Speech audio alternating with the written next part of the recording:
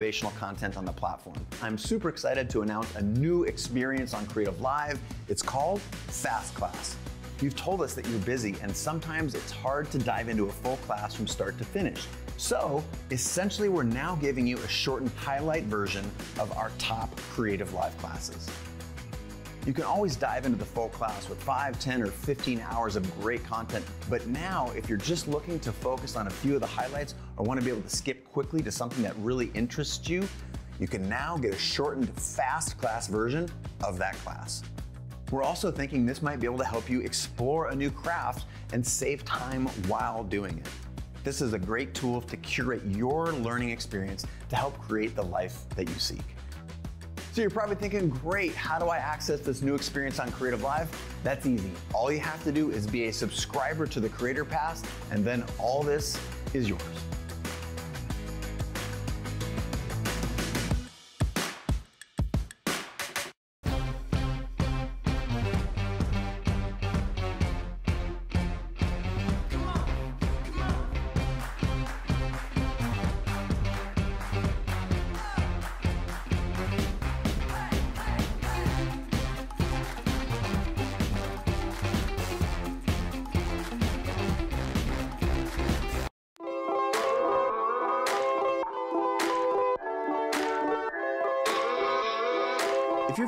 Isolated and looking for creative connection, try tuning into creativelive.com slash TV. That's where we've got a 24-7 live stream from the kitchen counters, I can do that backlit shot that I really like to do. from the studios, and living rooms of many of the world's top creators where we're doing musical performances, Q&As, cooking shows, virtual book tour events, drawing, spoken word poetry, and more. Life passed me by waiting for an invitation when the world is greater than my nation or my occupation. Be someone you've never been. You feel all that adrenaline, it's medicine. It actually helps me feel like my days are more purposeful. I hope that out of this deep pain will come some collective growth. Dive into Creative Live TV today.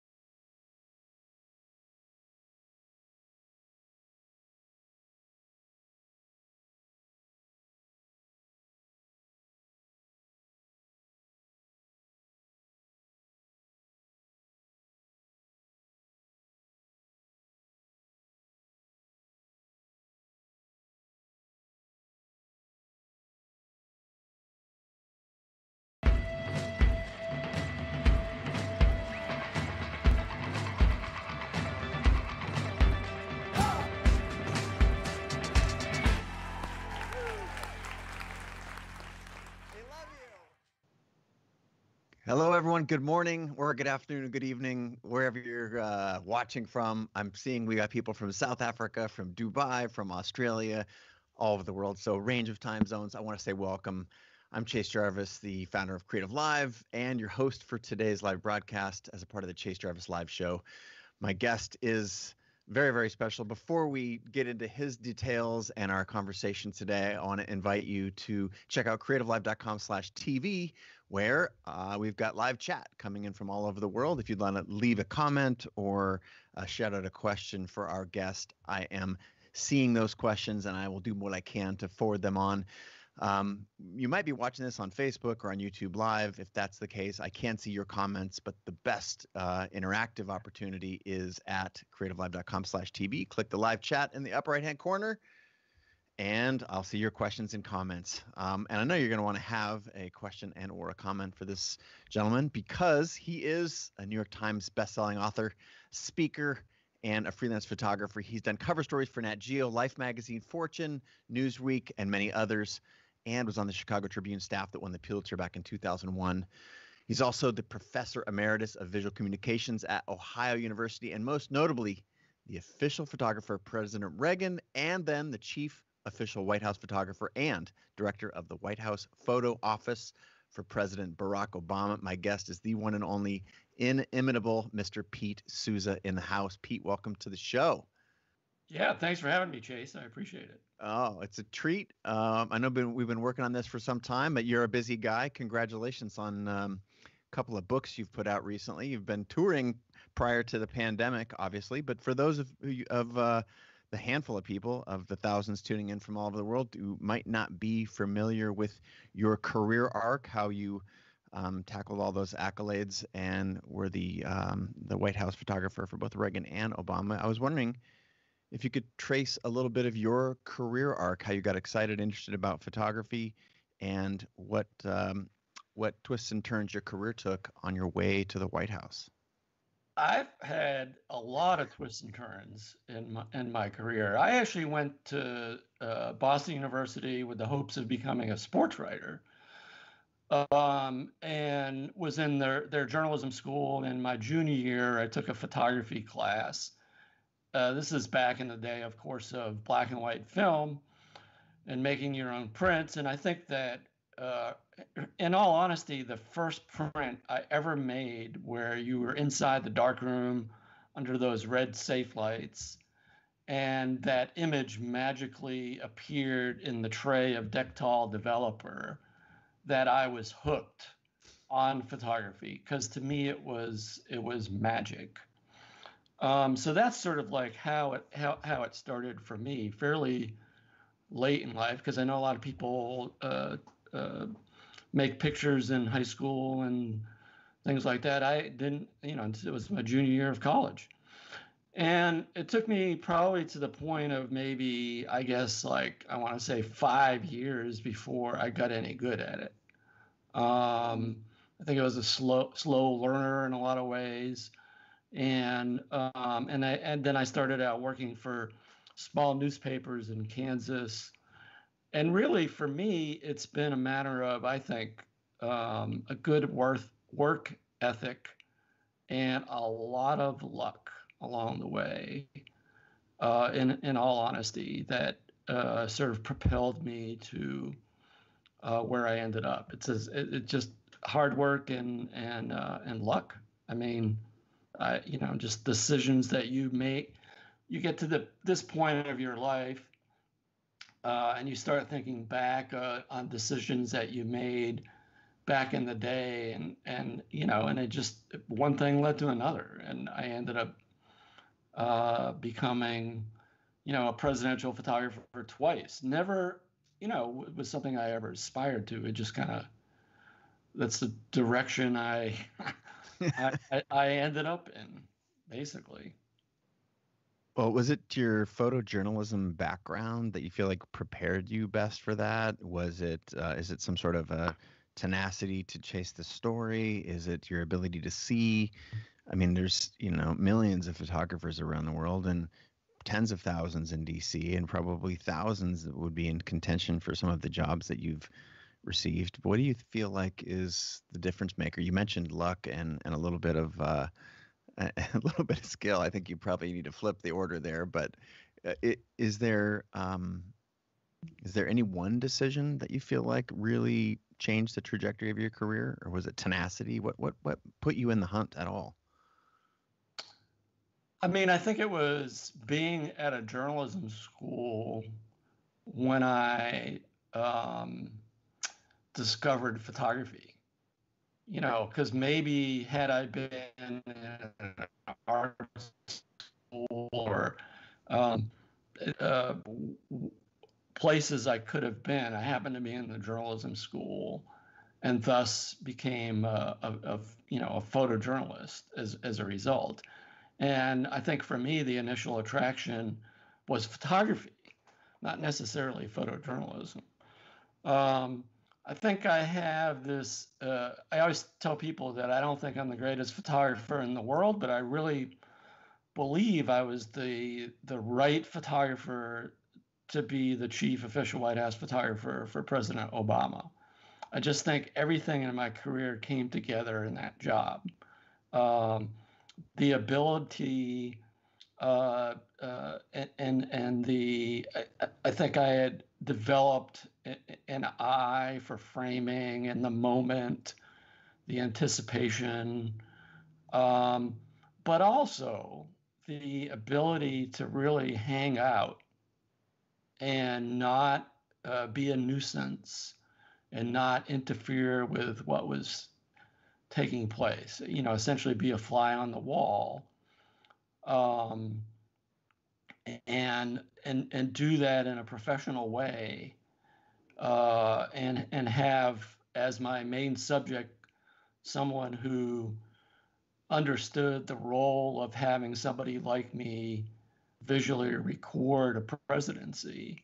Um, just like everything came together in in that in that job in the, the eight years of that job, which to me is sort of like the, you know, the capstone of my career. Yeah, clearly pen penultimate. But I mean, um, also like I mean, just having had the experience at National Geographic for a few years, where I learned more about light and color than I probably did when I was working for a newspaper. And so, you know, the just this, I mean, all these factors came into play. Um, well, one of the things that I loved that you said, which I think is often really wildly overlooked, um, coming from a photographic background myself, is the ability, the technical skills. I think that is just one small piece of an otherwise complex puzzle. And what I loved, you said it very clearly, your ability to hang out, to be in a position to get the shot, not, I think you said nuisance, not be a nuisance. And and I just think that that is the most sort of underappreciated, under or misunderstood part about um, about any photographic job. And so, what people are thinking right now, the photographers in the uh, in the audience, again, we've just had some more folks join from Indonesia, from Hungary, from Mexico. What I think they want to hear is well, great. How do you get good at hanging out? if the technical skills you can master, um, what does it what does it mean? How do you practice that? And is it a social skill? Is it are you extroverted, introverted? Build a little a little story for us around you know why you think you might be great at that. Um, you, you know, I wish I could uh, give you a bullet point list of you know here's how it's done. Um, I just had a, a long conversation on the phone the other day with somebody who was applying to be an official photographer for one of our governors. And you know, and, and he was asking the same question. And I was like, you know, every case is different. And and it's and it's something that I think you develop as a human human being, more so than as a photographer, sort of how to how to relate to people. And every person is different. Um, and, and this is why I say I think I was the, the, the you know the right person to be Barack Obama's photographer. I mean, we're sort of from the same, more or less, uh, generation. I'm actually a few years older than him, and I think that actually helped, you know. But but also knowing, just like understanding when um, to to say something to him and when not to say something to him. And it and it's not something that you can teach. It's just uh, it, it's something that you uh, sort of learn over time, I think. And, that, and, that's about the best answer that I can give. I think it's really hard to articulate, other than it's different for uh, you know every situation. I mean, I think Bill Clinton would have been, you know, a completely different character in terms of how you would relate to him because he's such, you know, much more gregarious uh, personality than President Obama. And I don't mean that in a negative way. I'm just saying they're they're two different people, and so it's it's just hard to give an answer to that.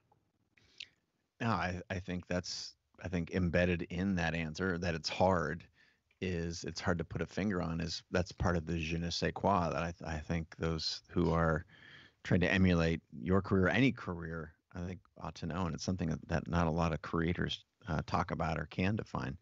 Um, you mentioned President Clinton, President Obama, but so far we haven't talked much about your experience photographing Reagan. Do you feel like that was that like a a uh, a prep lap? Was was that like your your warm up um, presentation for uh, for what was ultimately the um, the penultimate with with Obama? Talk talk to us a little bit about the differences between not just the the characters but your role in those two different presidencies.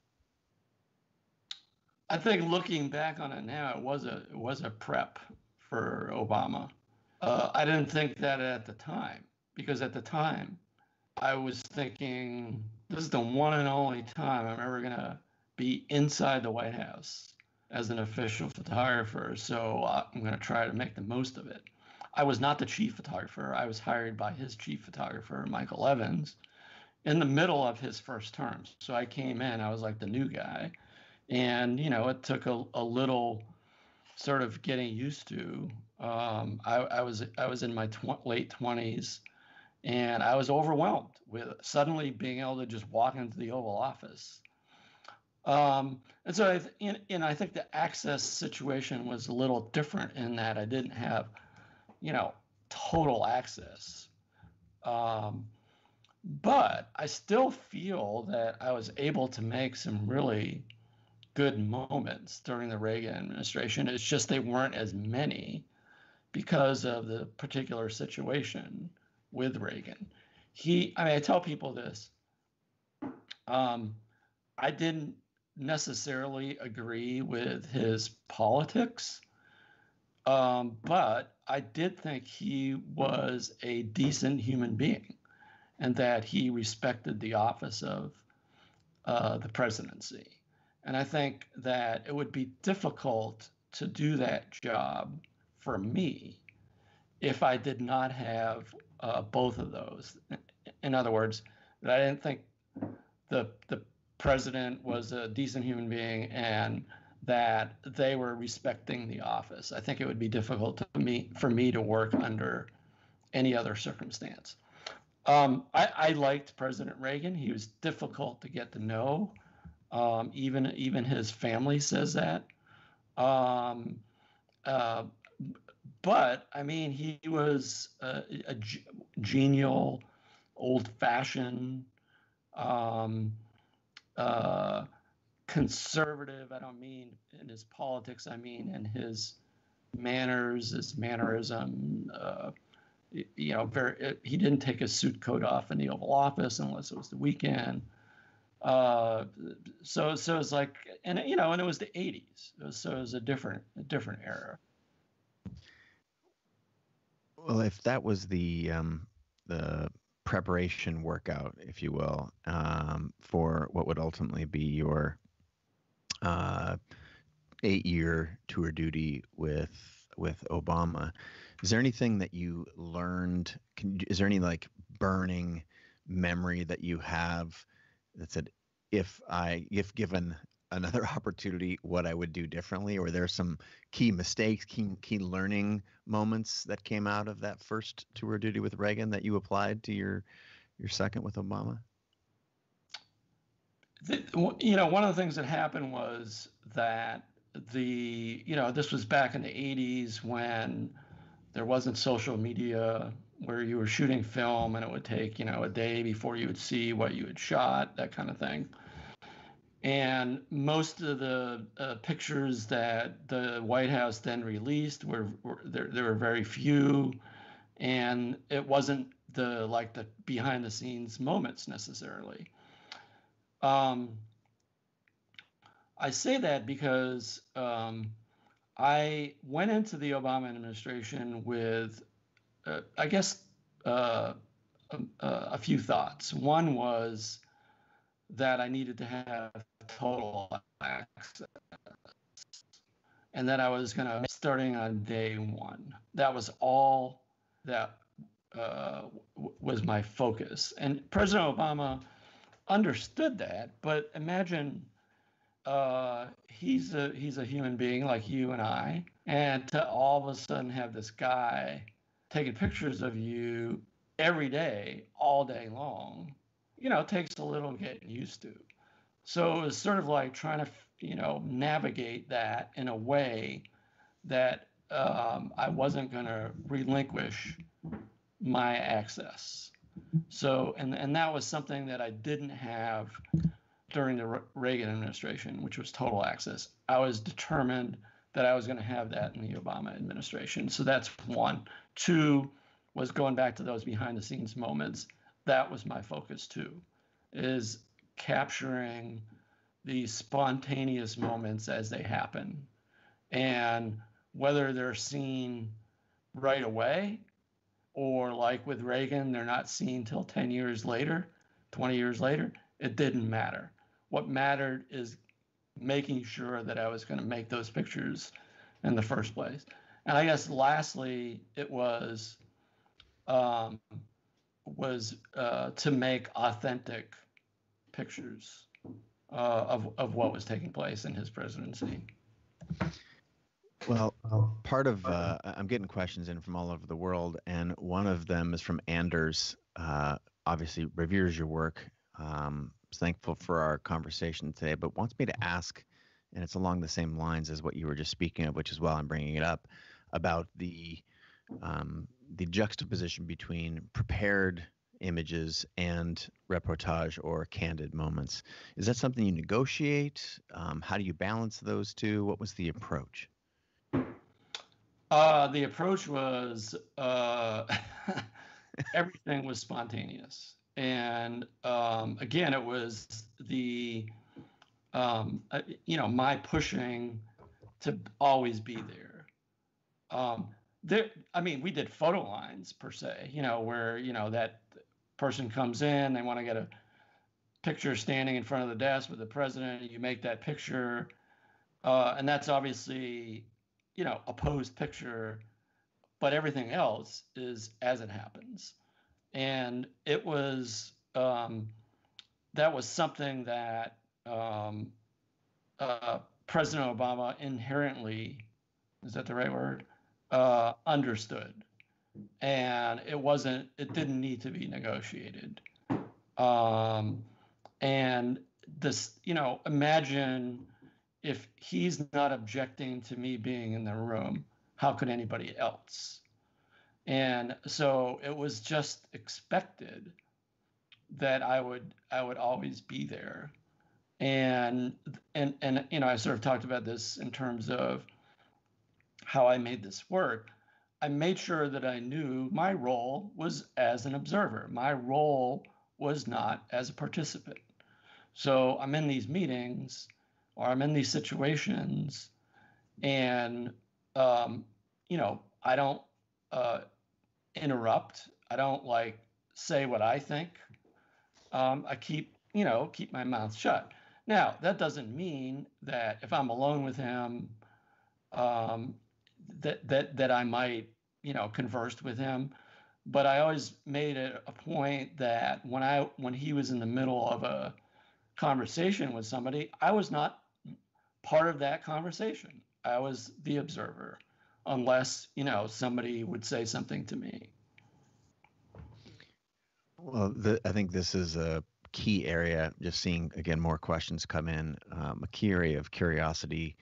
Does that mean you never coached? Like, hey, Barack, you know, turn your head a little more sideways, or you know, step forward into the light. Is is there any coaching that happens in those worlds, even when you're just uh, it's just you and he? Uh, no, no coaching at all. Interesting. Really, really fascinating.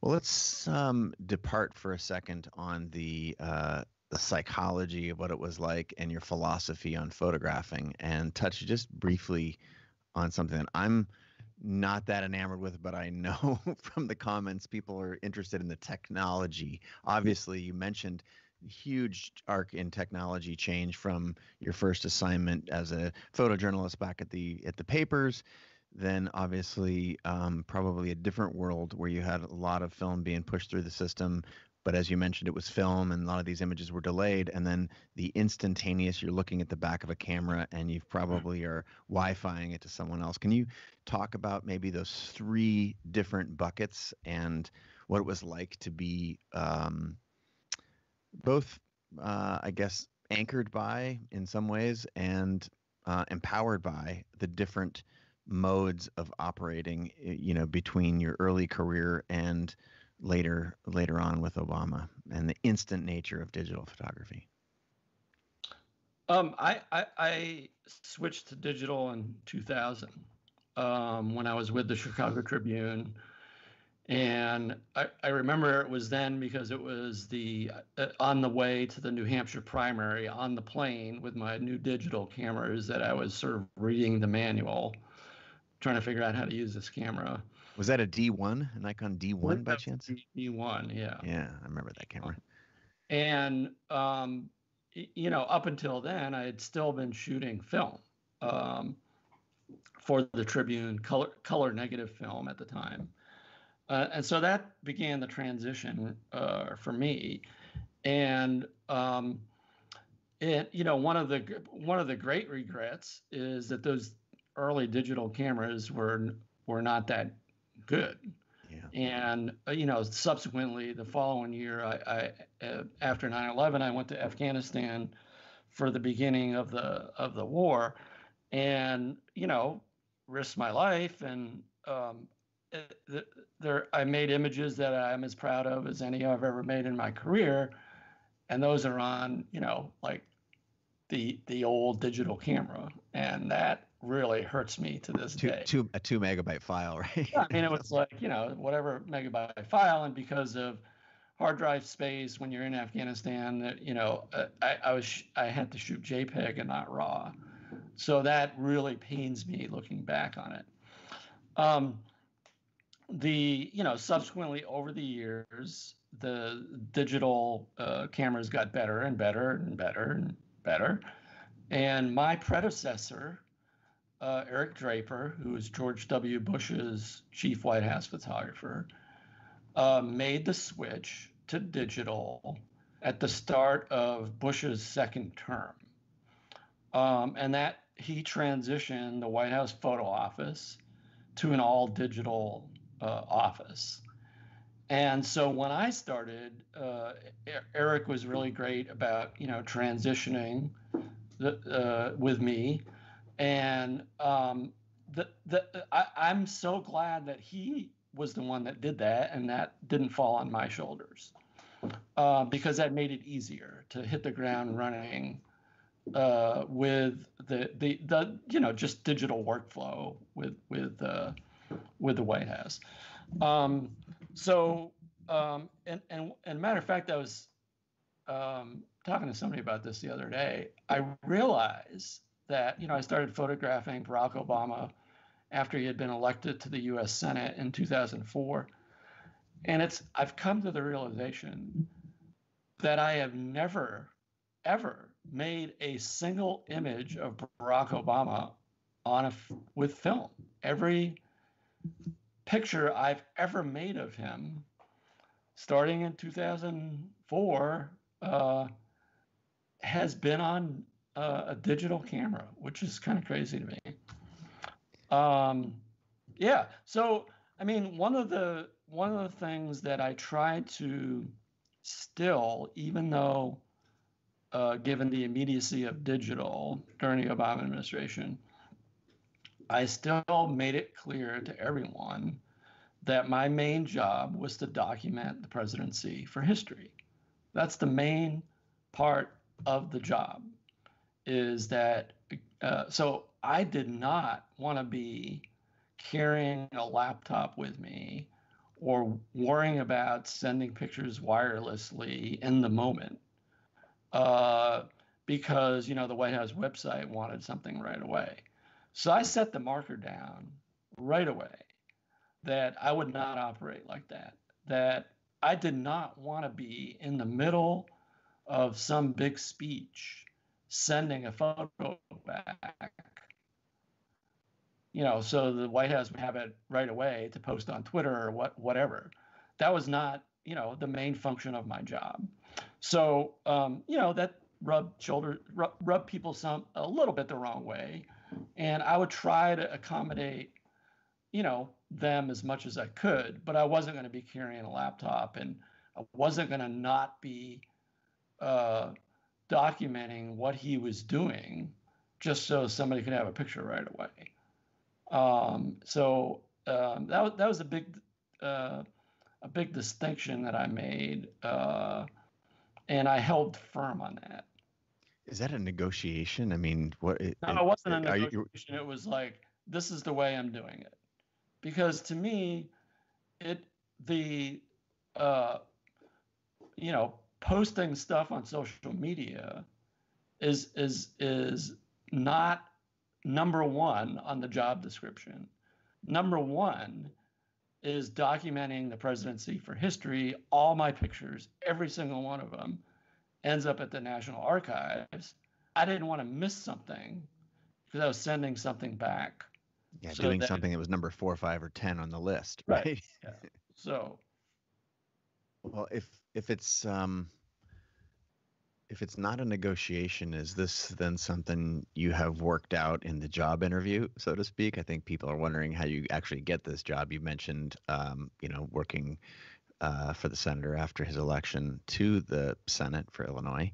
Um, so, is this a is this a part of the relationship building over time where you establish your boundaries um, and i'm thinking you know if this is your your client for example that this is broadly applicable for anyone who's listening i'm just curious what your methodology was for sort of stamping i think you said you put your marker down you know how does one do that and and not make enemies or did you have to make some enemies and stand tall with something you believe deeply in Oh, I'm sure some people were pissed off at me, but you know, it, it's part of the job, right? I, part of the I, job.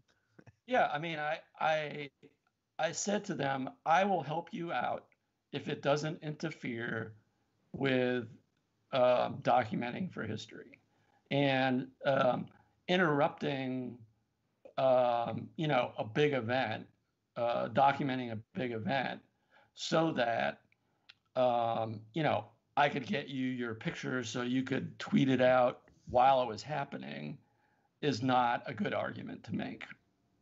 So, I mean, the um, you know, I did have a staff. So if if if if said event was at the White House, it would be real easy after the event to hand a photo editor my cards, and they could start the process. So it wasn't like it was going to be the next day, but it wasn't going to be, you know, in the moment.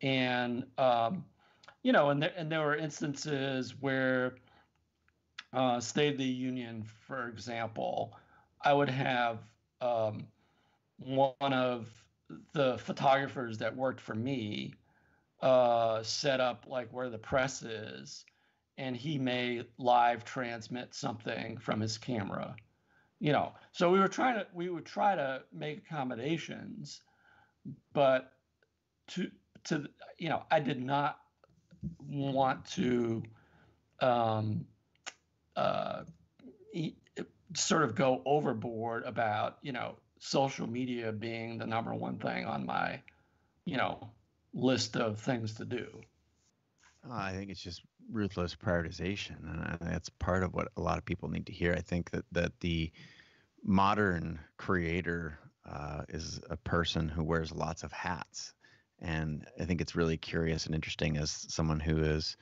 you know, the chief photographer of the White House who has a staff, um, still has to wear hat many hats and still has to make hard decisions of what to do and what not to do.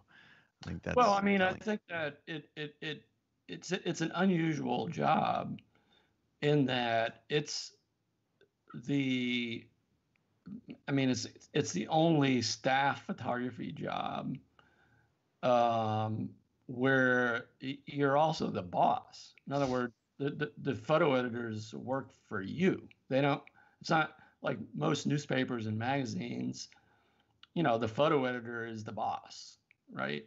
And so, um, that you know that that easier to sort of say, okay, this is the way it's going to be. Um, and but but again, it wasn't. It, you know, the num as I said, the number one thing in the back of my mind was documenting for history, and every argument to me was based on that. Hmm. Uh, you mentioned the photo editor, and that brings to mind conjures up sort of workflow and and questions about editing.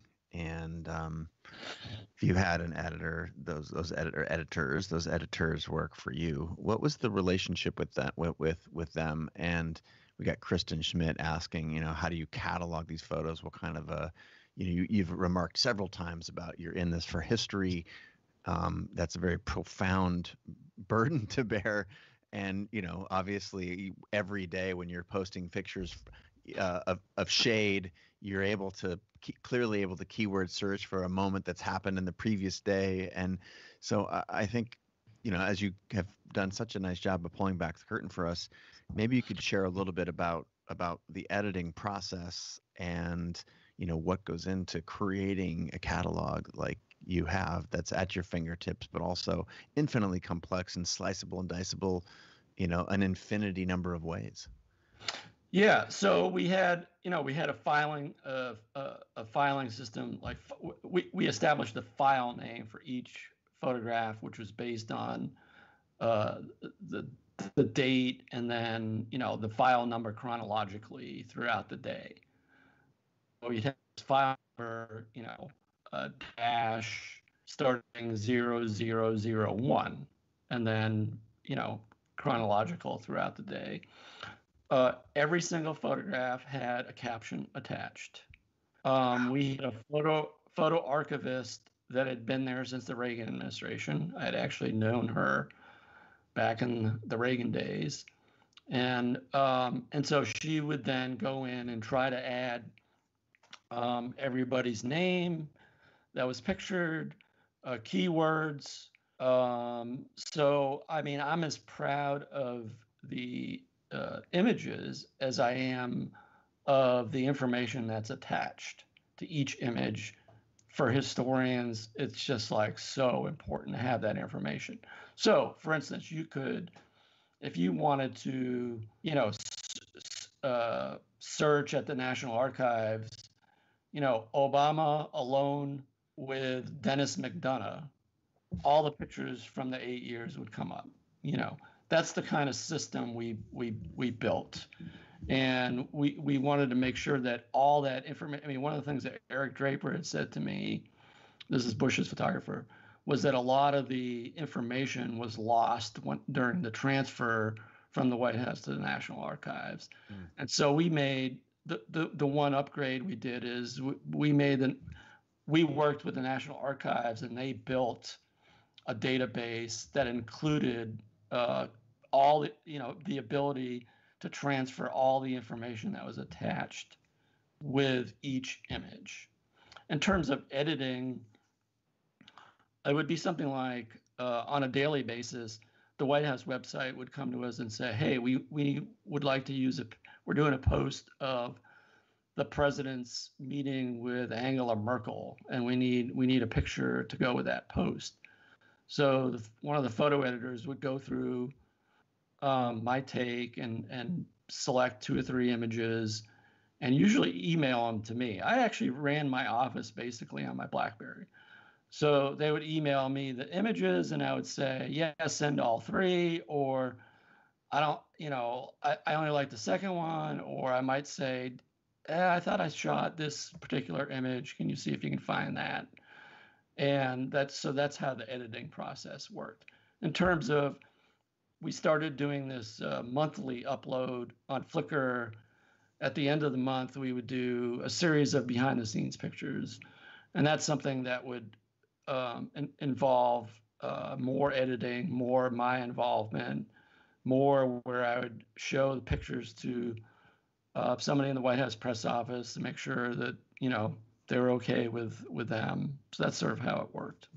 Yeah, uh, brilliant. And just as someone who knows has cataloged millions and millions of my own images and knows uh, just enough to be dangerous about the the uh, amount of work that goes in. It's not a surprise that you say you're as proud as the uh, cataloging and the image or the uh, information as you are the image. Um, but I do, I, I think that's just phenomenal as a contribution to history because the image without as much of that that information is is less of a historical record.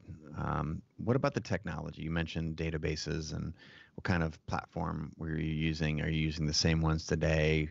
Um, is the National Archive built on something that is uh, consumer grade? Is it enterprise grade? What's you know, talk to us a little bit about um, some of the technology used in your workflow, and then we'll move on to less tactical and more uh, more yeah. um, strategic and contemplative things. Yeah. So I mean, we in, ingested our uh, cards using Photomechanic, mm-hmm. um, which is sort of something that photojournalists tend to use. Uh, easy to add uh, captions and keywords and things like that. And then uh, the database uh, was was something that Eric Draper had purchased a license to Merlin One, and so all the images would go uh, into Merlin One, and we you know we'd have a server and a backup server that the White House main, maintained. And then when it came time to transfer to the National Archives, they were not allowed to use Merlin 1, and for reasons that I'm not quite clear about, one of which was that once you send a record to the National Archives, you cannot change the record. And so Merlin 1, you could go in and like we would update captions all the time as we added names and things like that. But once it was sent to the to the National Archives, it, it becomes a locked file from the White House to the National Archives. And Merlin, you can go in and change things. So they couldn't use Merlin. So, um, we, you know, I worked really diligently with them and, and an IT guy at the White House to build a similar system as mm-hmm. Merlin.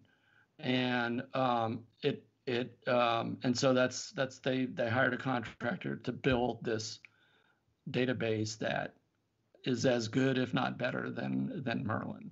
Wow. And, yeah. Well, Julie's asking, does do all of your photos end up in the National Archives then? Yeah, yeah every single one. Every so I shot about one 1.9 million photos. I didn't quite make it to two million. so they're all they're all now at the National Archives. Amazing, amazing! What a contribution to history. Um, I want to, speaking of history, I want to shift gears to talk about some of the the key moments that you photographed that are, you know, indelibly engraved, embedded in um, in culture forever. Um, one that comes to mind is the image in the in the um, the moment where the raid on Osama bin Laden's compound is going down. Um, can you talk to us about you know your your experience there, what you can share, and um, just being in so many of those moments. Do you have some favorite photographs besides that one that is just so iconic? Yeah. So um, that was that was a a long day. That was a really long day. Um, but the the the raid itself, uh, when they were when they were monitoring the raid as it happened. Uh, that was like around about 40 minutes. Um, and it's as uh, tense and anxious a time as uh, as as I can probably uh, remember in my career, and and it was it was tense, uh, more so for the people in the room than it was for me. Although I was pretty tense too. Um, I mean, I think part of the the the, the to me the the interesting aspect of the photograph is that you've got all the most powerful people in the executive branch of our government all jammed into this tiny room. Um, and yet, in that moment, they are powerless because, you know, their their decision had already been made, and now it was up to those guys on the ground, and they're watching this unfold, and there's nothing they can do about it. Um, I think that you know that uh, the the the tension that you see in in that photograph.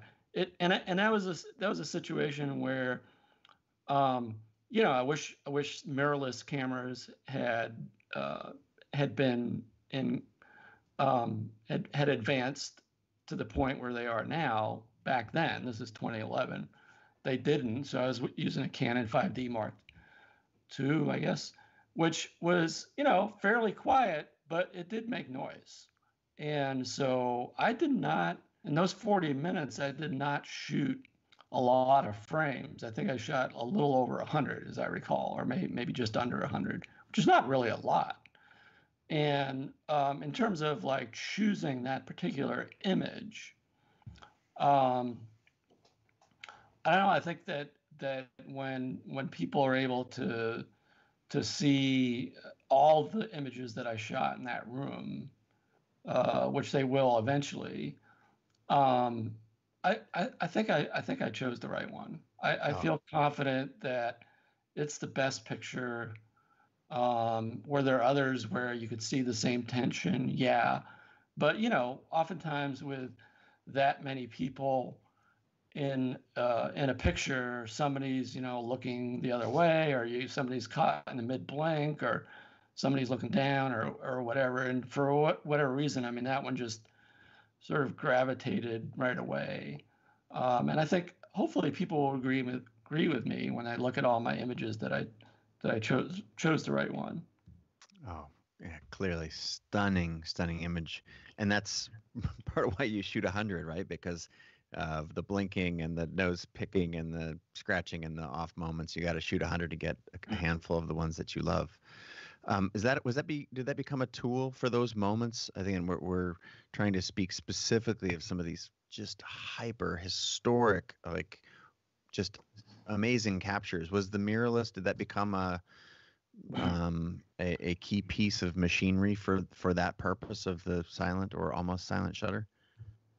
You know, we never used mirrorless cameras. Uh, the, to me, they hadn't yet gotten to the point where they were uh, could match the quality of the DSLR.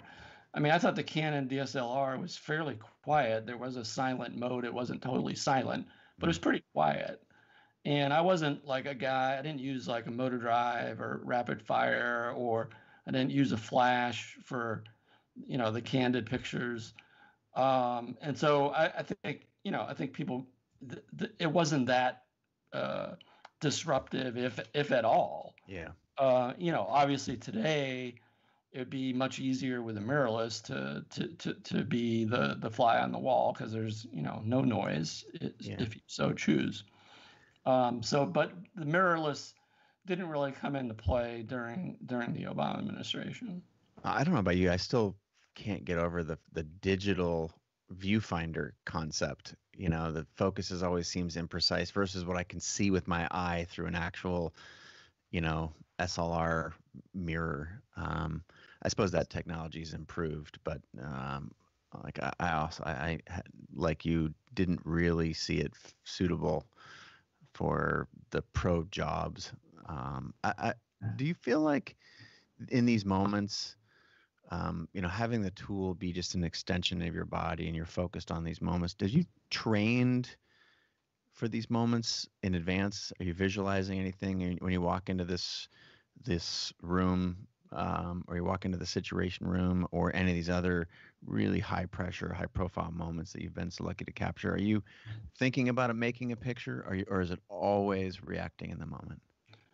I, I'd say 90% of the time just reacting in the moment.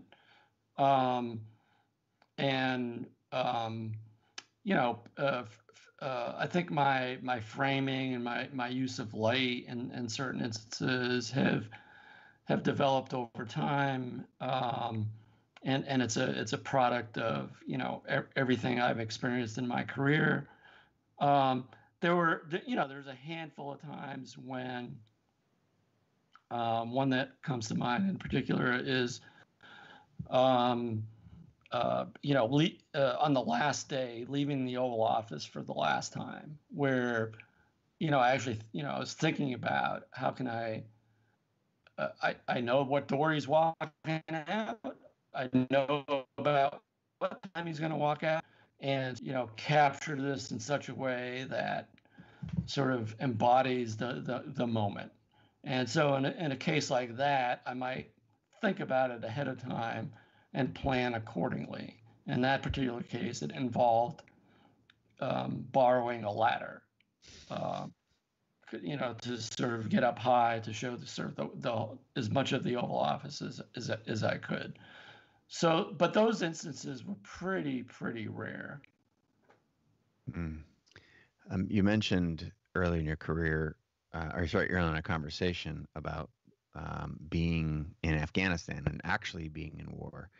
Can you juxtapose the moment of sitting in, say, the Situation Room when you were photographing the raid versus actually not at that moment, but being boots on the ground in a place like Afghanistan, which you know a lot of people in the in the uh, who are listening right now or watching have questions about the you know the juxtaposition of of the pressure of your job versus the the life and death aspects of, of being a, a war photographer. Yeah, I mean, I've had a couple friends that have been killed in war, and um, there's no comparison uh, yeah, my job at the White House had a lot of pressure, but there were no bullets flying over my head. There was no rocket propelled grenades heading my way, whistling through the air. Um, you know, my life wasn't in danger. And, so it's a different kind of pressure, um, but doesn't compare to what it's like for, uh, you know, a war photographer. And which I will say I was not good at. I did not function well when I heard, uh, you know, sniper bullets whistling over my head. I did not function well, and I was not made out to um, to to to uh, to do that for uh, for a career. I mean, I'm glad that I went to Afghanistan. There's uh, there's pictures there I'm really proud of, um, but it's it's not something that I would ever do again. Yeah, it just seems so hardcore. Um, and obviously, several in our community have passed over the course of the last two decades of conflict. Um, I want to shift gears and um, juxtapose all of this work that you've done um, in photojournalism for you know a couple of different administrations and and the reportage with uh, some work that I gather you do for fun. And I'm gonna harken a moment we've met before. I don't know if you remember this. I'm guessing you probably don't. Um, I was at the White House uh, hanging with um, the Lumineers at South by Southwest. I was a oh. guest of yeah, I was a guest of uh, of the administration and uh, had known the Lumineers, helped them uh, start telling some stories early on in their career with with oh. Jeremiah and uh, Wes. Those guys are amazing. We were standing in the Rose Garden, um, talking about uh, taking pictures of music and whatnot. Um, so you take pictures of music. I you look familiar. I, now it's coming back to me. By the way, I have to say that the um, the last public thing I've ever done, like meaning go out in public, is I went, uh, I saw those guys in Milwaukee on March 11th. It was their last concert, uh, basically, probably for the year. Uh, they didn't, you know, they didn't know it at the time, but yeah. Uh, that that was like the last time I've ever been out in public and and and, and with other people. Oh, those guys are amazing. We um, we did a live broadcast of a whole set of music from our Creative Live studios in Seattle on the day that their big album dropped. Whatever, I think that was 2011 or 12. So I've known those guys for a long time, and yeah. I know you think highly of them. And and I want to explore a little bit of the stuff that it seems like you do um, for I don't know if it's for fun. Maybe you can tell us why you do it. You photographed the Lumineers a lot. Um, Brandi Carlile is obviously a subject of yours. Your turtle Charlotte is a subject, and and yeah, she's walking around. someone uh, in in the broadcast or someone in the comments said, "I think I see a turtle head over there somewhere in the yeah, behind she, your shoulder." She was walking around. I don't know where she is right now, but she was walking around. Um, well, uh, as those um, those subjects are very different than what you're known for photographing. I'm just wondering if you can talk about is that an area of passion? Are these just friends of yours you're casually photographing? Um, and since we we share that in common, I was just a little bit curious how, how you go back with uh, Jeremiah and Wesley and those guys. Yeah, no, I met them uh, for the first time at um, at South by South Lawn uh, when when you were there, and um, kept in touch with them, and then uh, my book, Obama: An Intimate Portrait, was was printed in Verona, Italy, uh, and I was in uh, I was there for three weeks as they were printing the book, um, and it just so happened that the Lumineers had a, came through. Had a, had a, concert in Verona, and so I, I hooked up with them there, and uh, and then I sort of kept in touch, and um, they invited me to photograph in the studio when when before their uh, uh, their third album came out, and um, yeah, so you know I've become friends with them, and um, I like music. I've I've I've been a huge music fan my whole life. I'm a I, I've played guitar my whole life. I'm really bad at it, but I you know I play chords and stuff like that. And I met Brandi, I don't know, 10, 10 or so years ago she became a really big good friend of mine, and uh, um, so I, you know, I photographed her a lot, um, and I, you know, I think it's, I think it, it, it's funny. Like I was mentioning earlier, that I just happened to be in journalism school when I developed a passion for photography, and I think if if I had if I had thought about it back then and known that you could become a music photographer that I sort of like to go back to 1976 and and switch, and you know, start to make my mark as a music photographer back then. So now I kind of just do it for fun. Uh, is, is, is probably more than anything. Um, it's it's really seeing your pictures. Um, you can tell the connection that you have with the artists is uh, key to it. I'm I'm sort of harkening the commentary that you had earlier around just being able to be present with um, a, an Obama or a Reagan or just you know be the fly on the wall, be comfortable to be around, and I think that's um, probably has a, a, little bit to do with the photographs that you're able to get of some of these musicians. It's fun to see you outside of what you're well known for, and obviously still um, making incredible pictures. Um, what about Charlotte? Like uh, you've taken documenting her. I've seen a lot of Charlotte videos on your IG feed. Um, always been a turtle guy. Yeah, I mean she she has her own uh, Instagram feed. Now. Yes, Charlotte. Let's, well, let's, I think she yeah. has like twenty five thousand followers. like Charlotte the tortoise. Charlotte the tortoise. So she, um, you know, uh, uh, my wife's kids got Charlotte when they were little kids, and kids kids grow up, they leave the house, and they don't take their pets with them. so now I sort of like am, I guess, the father to, to Charlotte and um, her her caretaker, and she's just like you know, it's just an unusual pet, and um, I started you know doing videos of her and still photos, and um, people were just fascinated. So she started her own account and. There's actually she posted Charlotte posted today a selfie of with me and and Charlotte. Uh, and that's all I'll say. So people can go check it out. It's not on my Instagram account. It's on her Instagram account. Charlotte the Tortoise, for those who are curious and tuning in late.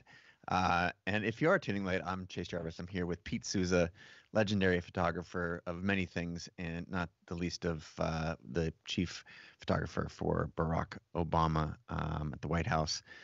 Uh, let's see here. So we've uh, covered a lot of ground. I think it's really important to cover uh, a piece of locking, making choices with your art and locking these. You've got 1.9 million moments that you've captured in film, but you know only a couple hundred get to make your books. And um, a couple of books, one most recently, Shade, Tale of Two Presidents. Before that, Obama, An Intimate Portrait, um, both number one New York Times bestsellers.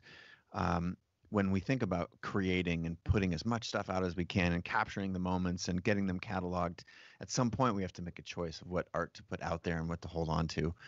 Um, talk to us about editing those books. And when you have 1.9 million images and you have some of the most iconic photographs of um, uh, of an icon- iconic time and iconic, uh, I guess, subjects like Reagan, like Obama, and all of the world's top dignitaries and whatnot, how in the world do you make choices? That was tough. I mean, the Obama Intimate Portrait, which which is you know the book that I'll forever be the proudest of that I've ever done. Um, there's probably a little over 300 pictures in the book, and it was agonizing. I, don't know how else to say it, but I, but I but I had a few things in the back of my mind. One was, what was it like during the Obama presidency? And that, so that was a thought in the back of my mind. Uh, two, what what are some of the, the the most important things that happened um, big events. And and three, what's Barack Obama like as a human being? And that probably overrode everything. Is is I really wanted to show uh, images that showed um, what he was like as a as a as a person. And um, there's there's some big events that just didn't didn't make didn't make the book. Um, because I was more looking for these human moments, these human interactions that I thought um, really showed what what he was like. And you know, there's a, there's some cool pictures in there too. You know, like of Air Force One and Marine One, and um, you know, just like cool vi- visual images that maybe don't tell you anything about him um, and trying to mix some of those in too. But for the most part, you know, the, the, the ones that I was really trying to get in the most were just those those moments that that tell you what he's like. Moments with others, moments alone. Um, yeah, all of that. All of it. of course, um, lots of folks want to know about your favorite capture, and I personally hate hate being asked about my favorites, but I'm I'm projecting now, and that's a bad role as an interviewer. So, do you have some favorites? Can, or or is yeah, the one? I mean, I mean, for me, it was the the the, uh, the the, the and I don't think I really mentioned this before, but I was uh, um, intent on trying to create the best body of work uh, that had ever been done on a president. That was sort of like, you know, that that was my overarching goal. And so I'll let, you know, others sort of weigh in on, you know, well, this is your best picture, this is your most fa-. You know, I mean, a lot of people say, oh, the Situation Room is your most famous picture. Well, yeah, I mean, it's a, it's, it is, it's a historic image, but at the same time, I would say that's like it's not hanging on my wall anywhere. You know, it's it's not one of those. Um, so, and and I think over time it changes. You know, what what are your favorite images? It it, it changes over time, and um, so I sort of like always punt in answering that. Me too. I, anything that's a superlative, like what's the best, the most, the coolest. It's just it's always so hard. You're picking from a lifetime of things, and I can only imagine that's probably exponentially harder for someone who's lived the life and seen the things that you've seen. Um, speaking to your uh, hanging on your wall back there, I do see the famous Snake River Grand Teton uh, image by Ansel Adams um, in the background. There is. Well, I'll tell you a funny story about that. Please do. when I was when my book Shade came out, it was being printed at uh, Meridian Meridian Printing in Rhode Island. They do great photography books and while my book was printing on one press, this poster was being printed on the other press. and I saw it coming off the press, and I was like, "Can I have one of those?" and they're like, "Yeah, we'll trim off, you know, all the color codes." And I said, "No, no, no, no. Keep all that stuff on there. I want everything. I want the like the uh, the whole sheet." And so that's what that is. I don't know if you can see at the top is the yeah, the color. Uh, yeah, the color bars. To me, that was the coolest part of it. So. In parallel with that, are there other photographers whose work um, that you respect and admire, or that have maybe played a key role in developing you as an artist? Um, it's a little bit of a typical question, but I'm wondering if you have, um, you know, if you have some folks that you looked up to that have paved the way, or or maybe even outside of photography that have um, been really influential in your development as a creator? I mean, there's so many. Um, I mean, I think for for uh, for me, um, uh, I mean, two people, three people that I never met that have influenced my career. Uh, Cartier-Bresson, of course, the great French uh, photographer who was so good at uh, composition, framing, and and and and moments. The decisive slice, moments. Slice yeah. of life. Slice of life.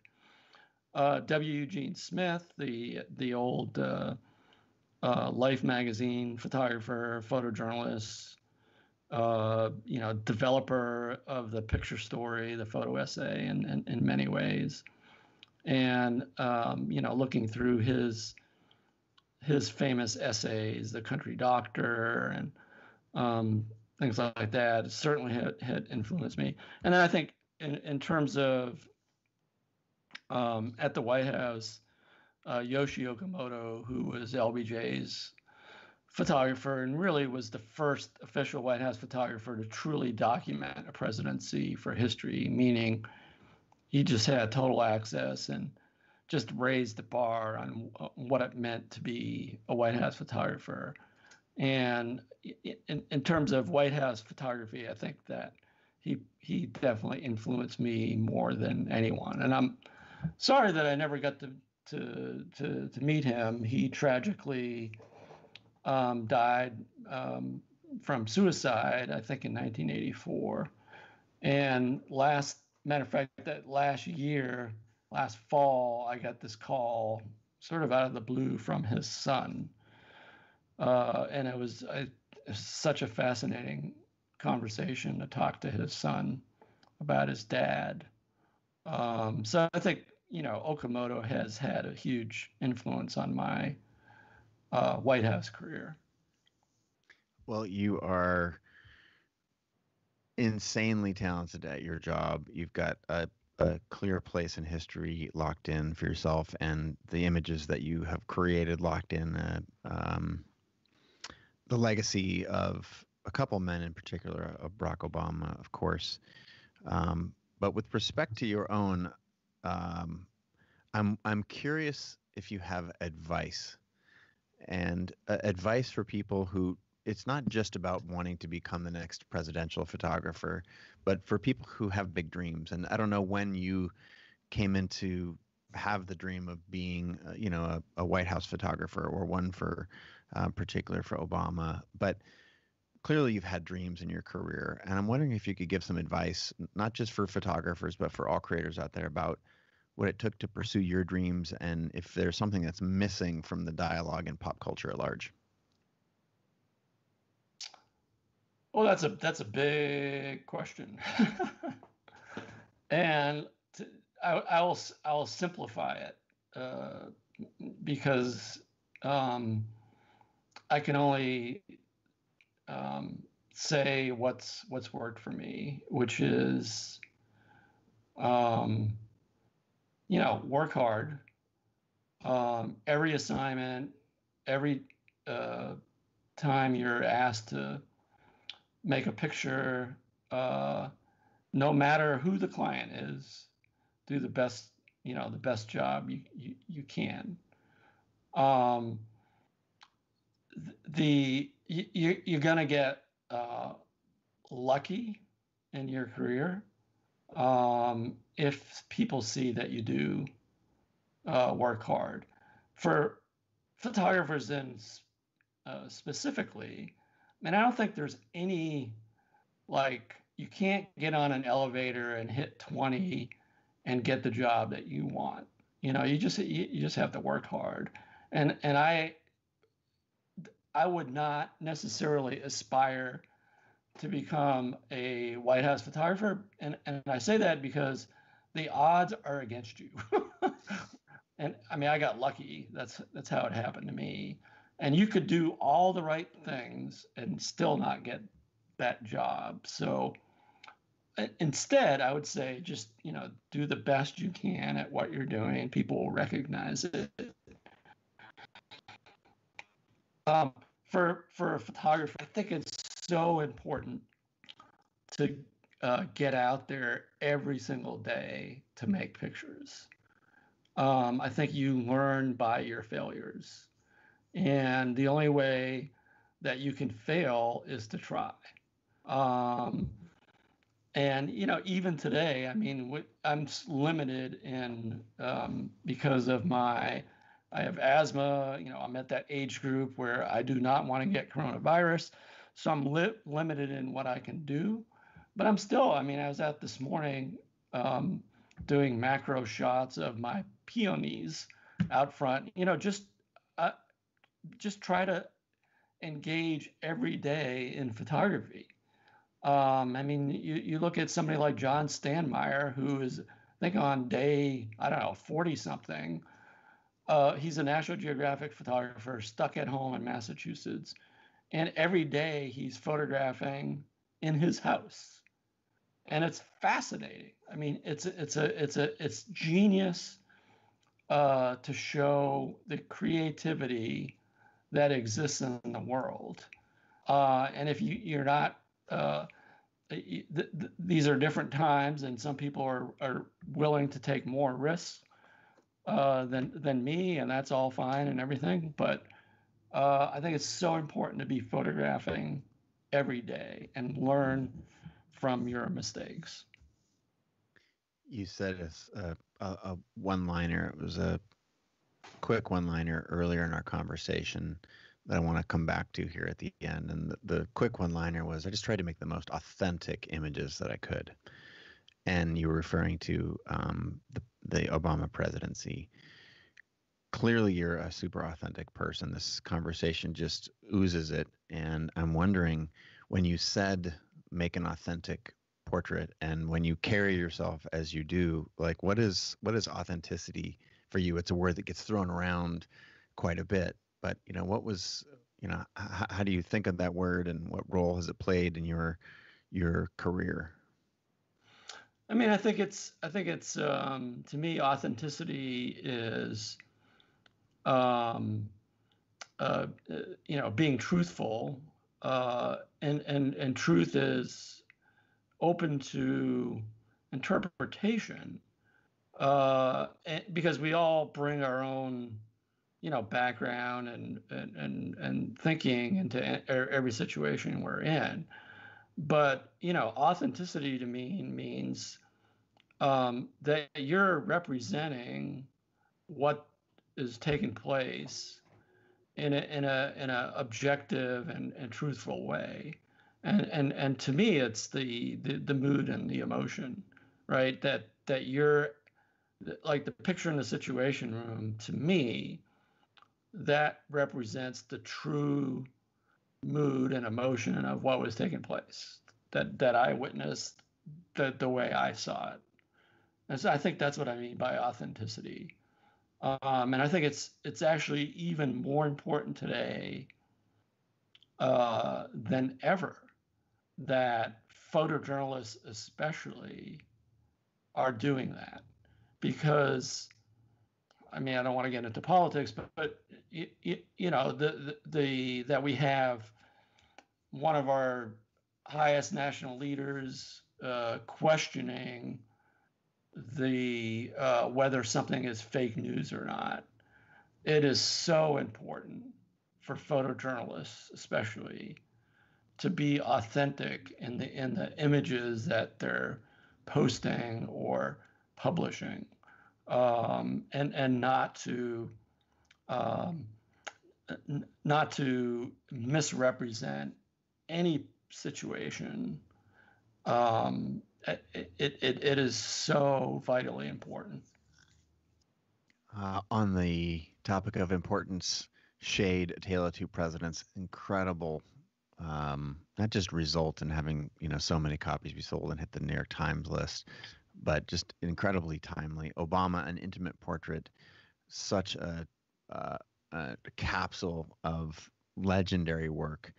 Um, those two books, if you haven't, uh, if you're listening right now and you haven't looked at either or both, um, now is a great time to go pick up a copy. And uh, I'm curious, Pete, what you know after after two just incredible, um, incredible books. What is next? Do you have another book in the works? Are you working on something that you can share with us right now, or is it all hush hush? what are you Um, working on? I'm I I've I mean I've got um I, I'm I'm still actually trying to figure out my next big project.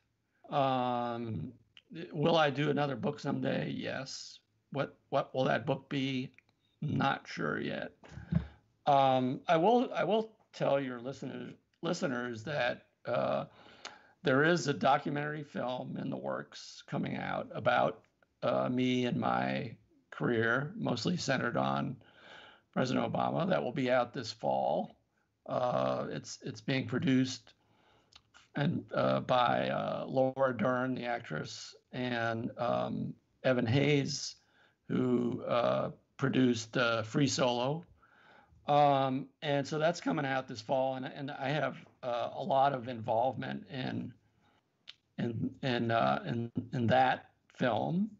I'm also helping uh, President Obama with the um, photographs for his forthcoming book, and um, so some of the hopefully some of the pictures that didn't didn't make my book will will will appear in his book. So I'm sort of helping him curate uh, those images. Nice. Just kick, kicking it with a casual uh, shared Lightroom library, walk down the street and lay out some tear sheets and help the uh, former president pick out some good pictures. I'm sure it's more uh, more advanced than that, but I would love to see some more of those images come to light, as I'm sure so many. And congratulations on the documentary. Wow, that is Yeah, it's Yeah, a little it's a little unnerving because um, the you know I'll- I'll lose a little bit more of my anonymity, um, which you know which is a, a little uncomfortable, but um, you know I I think it's I think it's for the the I think the documentary will be for the greater good. So um, what uh, a, what a crew you've got working on it. Um, I've been a long time friends with Jimmy Chin, the director for Free Solo, who was actually the, the most recent guest last week on the show. Right, uh, right Oh, preceded, okay. preceded Yeah, you. I've never met Jimmy, and obviously he's he's good friends with Evan Hayes, who's Yeah. one of the producers, and Yeah. now I'm good friends with Evan. So it's Small some- world. Someday we'll meet. Someday. I think so. We'll all we'll all come together and just I, I can't thank you enough for not just this conversation, but your role in history, for being such an iconic, humble, hardworking, uh, you know, badass photographer. Uh, clearly, uh, one of the best in the business, best to ever hold a camera in the photojournalism world. You've taken, you know, some of the most iconic photographs of the last 20 years, um, and I'm just. It's really important that I give you a shout out from Michael and Chris and Ali Rice and Robert and Han and Ryan and Jennifer Lee, people from all over the world want to say thank you so much for inspiring them. There's a lot of congratulations about your book, a lot of just kind notes about your role in telling amazing stories of the past two decades. And just for me personally, thanks so much for being on the show, Pete. What's the best place if people want to learn more? Where would you steer them? Um, and how can this community come together to to help support you as a, as the artist you are? Uh, yeah. So my website's petesouza.com. Pretty simple. And at Instagram, I'm at Pete Souza. So it's uh, those, those are. I actually haven't updated my website in probably I don't know five years or something like that. Um, but you know, you could see more of my more of my work there, and I regularly post to to Instagram if you're not following me on Instagram. Um, and you know, sometimes I post old pictures of President Obama or new pictures of Charlotte or you know pictures of my flowers. well, it's all it's all fascinating. And while uh, Charlotte might be a great subject, she's not the fastest typer, so she does not post as often as no, Pete, she doesn't but... post as often, but um, yeah, she posts a lot of videos. um, and that's Charlotte the tortoise for anyone who's curious on Instagram. Uh, Pete, again, thanks so much for being on the show. Uh, you're a legend and an inspiration to so many, including myself. I appreciate you taking the time out, and uh, I just want to wish you the very best. Thanks for having me on, Chase. I appreciate it. All right, everybody, signing off. Uh, make sure to go follow Pete if you're not already. I know most of you probably are, as as he's a legend in our midst. And remember, if uh, you were watching this at, at Facebook Live or YouTube Live, come check us out at creativelive.com slash TV, where we have conversations like this every day and more than 2,000 classes from the world's top creators and entrepreneurs. I'm Chase Jarvis signing off. Pete, thanks again for being on the show. We'll see everybody again, hopefully tomorrow.